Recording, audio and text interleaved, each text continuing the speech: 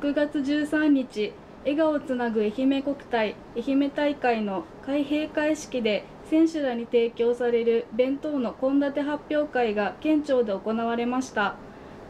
弁当の献立を考えた標準献立部会長の大西公子さんは選手がいい成績が出るように栄養を考え東中南予の県産品を盛り込んだ。味や彩りはもちろん愛媛の良さを知ってもらえる出来上がりになったと思うと述べました。これに対し中村知事は海山里の幸に恵まれた愛媛の食材の豊富さを知ってもらえるはずと述べました。